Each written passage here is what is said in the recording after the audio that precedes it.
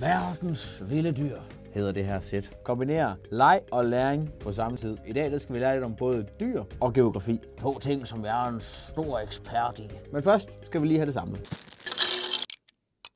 Så fik vi samlet det hele. Det, der er specielt ved det her dubbelsæt, det er, at der faktisk er en lydklods med. Så når jeg trykker på den her klods, så vil jeg høre en dyrelyd.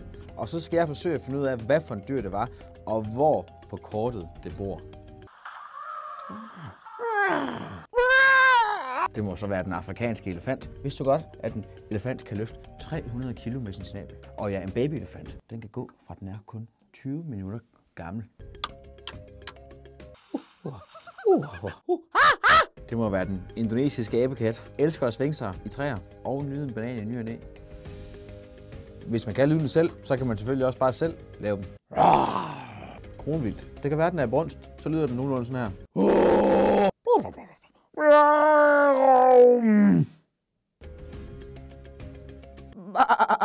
Skotske højlandsfor. Ham sætter vi i Skotland.